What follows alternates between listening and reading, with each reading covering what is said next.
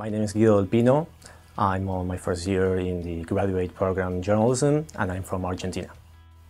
I found out about Hofstra on petersons.com. It's a website where you can search for you know, universities according to what you want to study and where do you want to study. And then I did some research about the university. I went onto the university website. I saw some videos about the campus and the facilities, and I looked into the program, and everything looked great.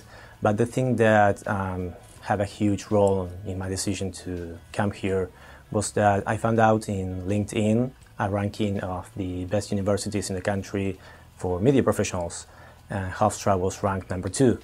So that was very important for me. I wanted to go there uh, somewhere where they had a good program and Hofstra was just the right place. The most important thing about Hofstra is that it's near New York City. I, I want to live there for a long time and so the commute is very easy. You know, in New York the transportation is great. So you have the subway and then just you know a train to Hofstra that's an hour uh, and then you have even the bus shuttle that takes you from the train station to the university. So the transportation was, was great. And well, it's a great university, and of course, I want to go somewhere where uh, it would make easier to then find a job uh, on my career. Well, I have classes three times a week, uh, two hours per day, which is good because I have a lot of time to read and focus on assignments. So I spend a lot of time commuting, but uh, I can, of course, uh, take advantage of that time to do some work. And, but then, of course, I try to you know be involved in campus uh, on campus activities, uh, some sports, and try to have some fun as well.